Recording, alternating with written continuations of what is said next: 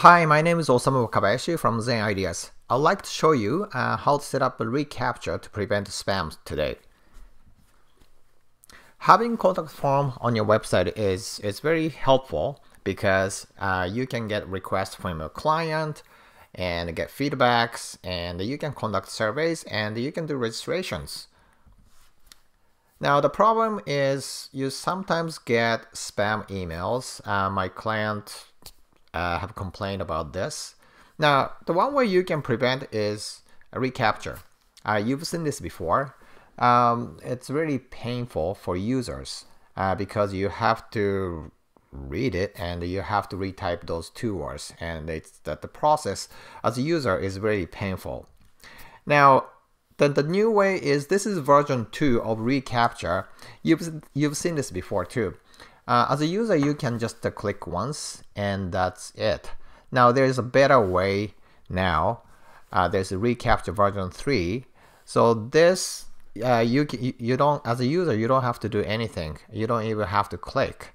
But uh, at the same time, as a website provider, you, you can prevent spam emails too.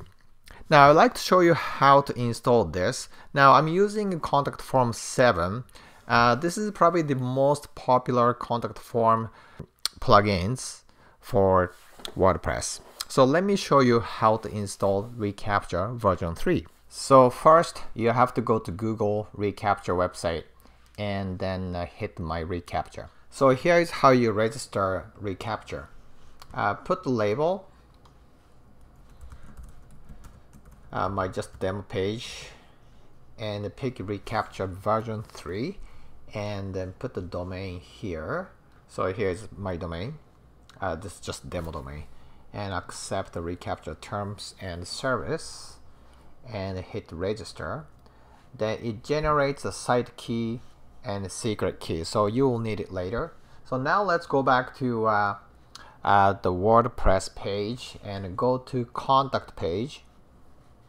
And here's the integration. So click that and set up a key. And now reCAPTCHA here. So just copy and paste the site key we just generated. Copy and paste. And the same secret key as well. Copy and paste and save changes. So that's it. And let's go back to the contact form and here's my con contact form.